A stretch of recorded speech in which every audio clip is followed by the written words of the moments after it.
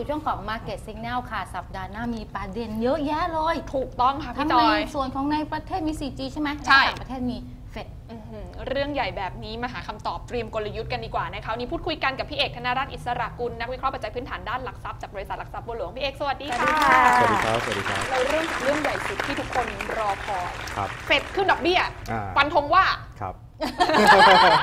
ฟันคงว่ายังไงเนี่ยอ่านะครับยังไม่ดูใช่ช้านะครับจริงๆแล้วเนี่ย ในแง่ของเฟดเองนะครับถ้าเราดูในแง่ของอาการขึ้นดอกเบี้ยเนี่ยจริค่ะงๆโหนานมากเลยอืมกว่าจะมีการขึ้นดอกเบี้ยนะครับซึ่งครั้งนี้เนี่ยนะครับอ่าหลายๆฝ่ายนะครับคาดการลงถึงหลักทรัพย์บัวหลวงเราเองเนี่ยก็คาดว่า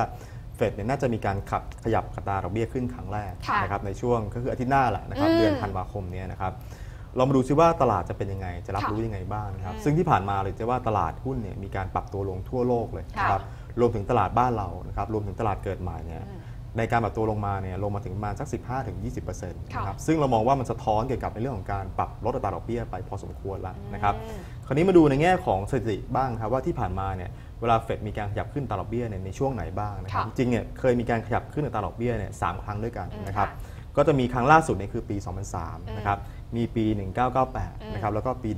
1994 นะครับอืมเราลองไปดูในอดีตว่าเป็นยังไงบ้างนะครับสองครั้งเนี่ยในปี 1994กับ98 เนี่ยที่มีการขยับขึ้นอัตราดอกเบี้ยนะครับ เชื่อไหมครับ ครั้งนั้นเนี่ยตลาดยังไม่ทราบครับว่าเฟดเนี่ยจะมีการขึ้นดอกเบี้ยค่ะนะครับทำให้ในแง่ของภาพตลาดเองเนี่ยอืมมีการปรับตัวลงอืมลงหลังจากเฟดมีการขึ้นดอกเบี้ยเรียกว่าช็อกช็อกใช่ครับยังปรับตัวไม่ทันถูกต้องครับอืมอืมแต่พอมาช่วงปี 2003 เนี่ยปรากฏว่า ตลาดมีการคาดแล้วนะครับว่าเฟดจะมีการขึ้นอัตราดอกเบี้ยค่ะตลาดมีการปรับตัวลงมาก่อนหน้านั้นนะครับหลายๆเดือนเลยนะครับพอเฟดมีการขยับขึ้นอัตราดอกเบี้ยปุ๊บเนี่ยตลาดกลับไม่ลงครับยืน แล้วมีการฟื้นตัวกลับอืมนะครับซึ่งเรามองว่าถ้าเฟดมีการขึ้นอัตราดอกเบี้ยครั้งนี้นะครับ เหตุการณ์น่าจะคล้ายกับปี 03ค่ะนะครับก็คือตลาดรับรู้แล้วอืมอาจจะทำให้ตลาดเนี่ยไม่ได้ปรับลงแรงมากนักอืมอาจจะมีการขึ้นได้ด้วยซ้ำไปโอเคนะครับงั้นฟันธงว่าขึ้นเออตีความ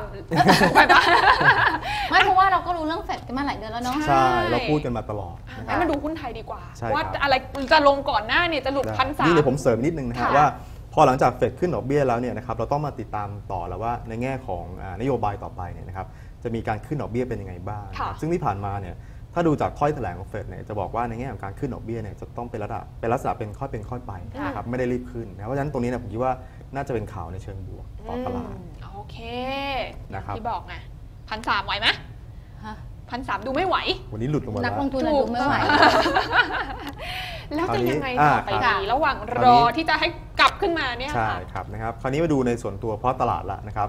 สัปดาห์ที่แล้วเนี่ยตลาดมีการปรับตัวลงมาเนี่ยหลุดระดับพันสามนะครับซึ่งทางฝ่ายดีเซอร์เราเองเนี่ยเรามีออกบทวิเคราะห์นะครับเกี่ยวกับภาพตลาดนะครับรวมถึงทำในแง่ของ PE ของปีหน้าแล้วนะฮะค่ะมาให้ดูว่าณระดับที่ PE 14 เท่า 13 เท่า 12 เท่าเนี่ยนะครับดัชนีเนี่ยจะอยู่ที่เท่าไหร่นะครับปัจจุบันนี้เนี่ยถามว่า PE ของตลาดเนี่ยมันลงมาที่ 13 เท่านะครับค่ะดัชนีเนี่ยลงมาแถวๆระดับสักพันสามอืม ซึ่งเรามองว่าไม่ว่าจะดูจากค่า PE ที่มันลงมาในระดับที่ดูแล้วเนี่ยน่าสนใจนะครับในแง่ของตัวค่า Standard Deviation เนี่ยก็สูงกว่า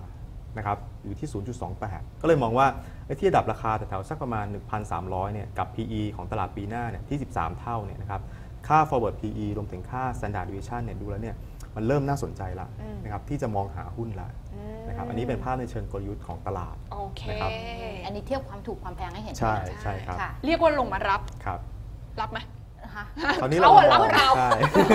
คุณเอกบอกเริ่มน่าสนใจไงใช่คราวนี้เรามามองในส่วนตัวเทคนิคบ้างแล้วค่ะนะครับว่าอ่าในช่วงที่ผ่านมาเนี่ยเราบอกว่าตลาดเนี่ยนะครับที่มันลงมาเนี่ยในแต่เดือนที่แล้วแล้วเนี่ยนะครับเราบอกว่าแนวรับระดับพันสามเนี่ยดูว่าเป็นจุดที่ดูน่าสนใจนะครับโดยเราใช้พวกค่าพารามิเตอร์ต่างๆนะครับค่า RSI indicator ต่างๆเนี่ยเข้ามาวัดอืมเดี๋ยวเรามาดูชาร์ตถัดไปนะครับค่ะสำหรับตัวตลาดนะครับปัจจุบันนี้เราเห็นว่าตลาดเนี่ยถูกกดลงมานะฮะภาพ RSI เลยนะฮะลงมาแถวระดับ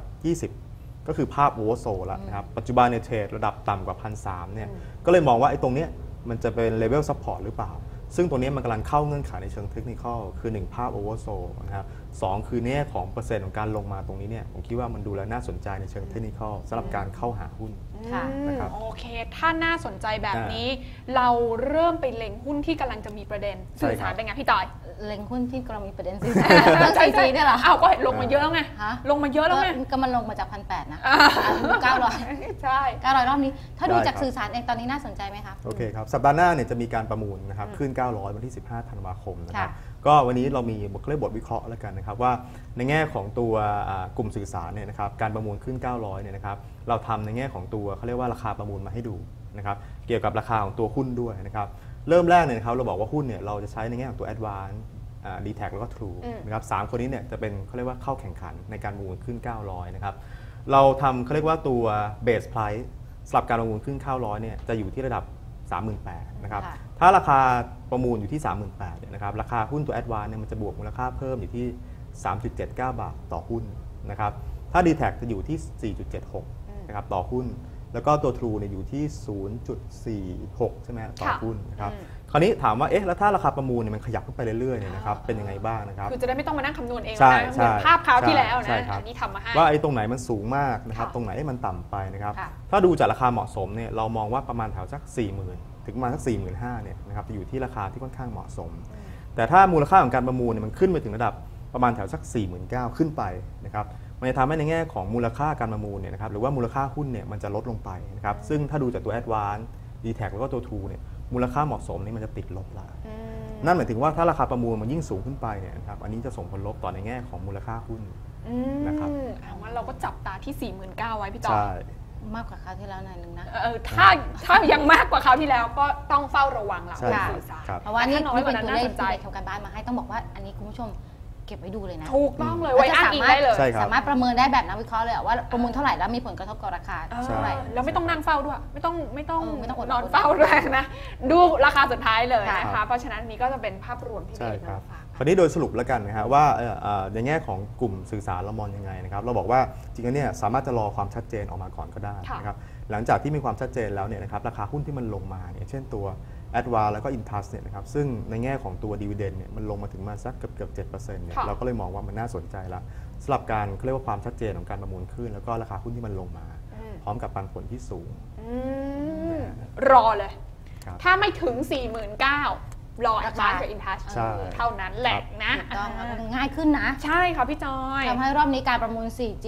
คลื่นความถี่900เมกะเฮิรตซ์ไม่น่าอึดอัดเท่าไหร่ถูกถูกถ้าเราเห็นราคาประมูลชัดเจนแบบนี้ ใช่แล้วค่ะ แต่ถ้าใครที่อยากจะดูข้อมูลพื้นฐานประกอบกันกับดูกราฟไปด้วย ถูกต้องคุณถึผู้งชม จุดกลับตัวยัง อะไรอย่างนี้ นี่สามตัวนี้มาก่อนเลยใช่ถูกตอนต้อง ที่แท็กทรูเปิดกราฟขึ้นมาเลยค่ะคุณผู้ชม Aspen for Browser ขึ้นมาแล้วก็ลองหาราคาดู ใช่ ว่าตั้งใจไว้เท่าไหร่แล้วก็ดูราคาประมูลประกอบ ถ้าดูแล้วตั้งใจไว้ตรงไหนลองเข้าไปใส่ใน i อ l g o ก็ได้ จะได้ไม่ต้องเฝ้าตลาดนะคะ ค่ะ ถ้าอยากรู้ว่าเครื่องไม้เครื่องมือต่าง ๆ ของหลักทรัพย์บัวหลวงมีอะไรกันบ้าง แล้วจะใช้เพิ่มประสิทธิภาพในการลงทุนอย่างไร โทรมาสอบถามกันได้ที่ 026181111 ค่ะ หรือว่าจะติดตามชมรายการของเราย้อนหลังก็ได้นะคะ จะได้เข้าใจมากขึ้นก็ตามเวลาที่ขึ้นอยู่ที่หน้าจอนี้ค่ะ ส่วนวันนี้หมดเวลาลงแล้วนะคะ เราทั้ง 3 คนพร้อมทีมงานลาทุกท่านไปก่อนติดตามกันใหม่ได้สัปดาห์หน้า สวัสดีค่ะ สวัสดีค่ะ